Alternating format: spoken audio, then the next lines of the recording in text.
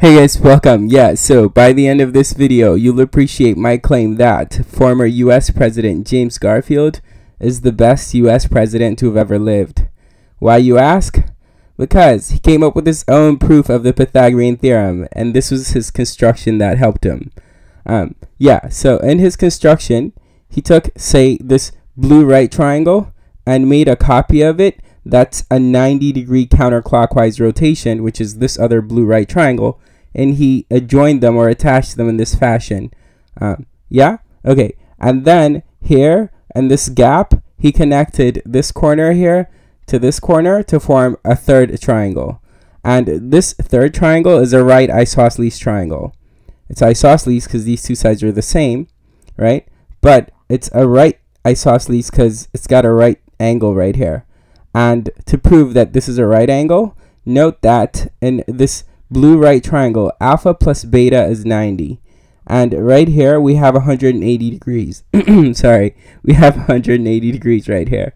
Um, and part of that 180 degrees are alpha and beta, which sum to 90, meaning this angle right here and the white triangle has to be 90 also. Therefore, the white triangle here is a right isosceles um, right triangle. Okay, now put together the three triangles form a trapezoid yeah, it's easy enough to see that it's a trapezoid. So what we're going to do to prove uh, the Pythagorean theorem, which is to prove this here, is observe that first, the area of the trapezoid calculated in one way is the traditional area of trapezoid formula, which is the average of the bases times the height, right? And so if the two bases of the trapezoid are called x and y, then we add them, divide them by 2. That's the average of the bases times the height. That's the area of a trapezoid, right? Note that um, x and y here are played by a and b, right? So those are the bases of our trapezoid. This is our trapezoid, right? Okay, so we have uh, x plus y is a plus b divided by 2. That's here. And then the height uh, of our trapezoid is this distance here. This distance is a plus b in length, right? And therefore the height is a plus b right here. And notice that this is the same as a plus b all squared divided by 2. So let's observe that. And we also know what a plus b all squared is.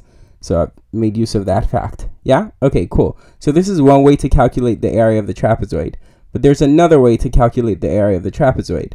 And that's by adding the area of this white uh, right isosceles triangle to uh, twice the area of one of the blue right triangles, right? So this is the other way to find the area of the trapezoid. Okay, so if we make the appropriate calculations, the area of the white isosceles uh, right triangle is 1 half times c squared. And then we have 2 times the area of one of the blue right triangles is uh, 1 half AB, right? And if we simplify that all the way, we get this. So this here is the area of the trapezoid, but this here is also the area of the trapezoid. And it doesn't matter how we calculate the area of the trapezoid, it's the same trapezoid, so it's got to um, have the same area regardless of the methods. So we conclude that this here has to be equal to this here, right? So, um, ah, I didn't mean to slide it. Uh, please don't make me record it just because of that. Okay, okay. So, so then this equation has to hold true. If we multiply both sides of this equation by 2, then we clear uh, the dividing by 2 that appears on the left and on the right, and we get this instead. But wait, from here, upon canceling the 2ab, that is subtracting 2ab from both sides, we get the Pythagorean theorem. Isn't that cool? I thought so. And yeah, I hope you're convinced that Garfield is, at minimum, a really, really cool president. Keep watching. Take care.